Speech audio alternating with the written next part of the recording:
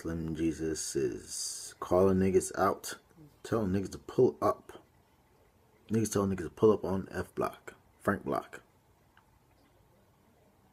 First, he was tired because niggas niggas try to run up on him saying he's not the real Jesus. Then some niggas hacked his fucking uh, Twitter and shit. And now this nigga's like, pull up. Talk all that shit saying y'all gonna pull up till we're actually out here, bitch. Where the fuck y'all at? You know we rockin', we out here on Frank Block, bitch. Where the fuck y'all at? Pull up, bitch.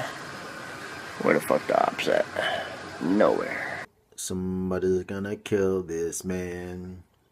And then this nigga that hack your shit put your mother address on, on, on public and shit, man.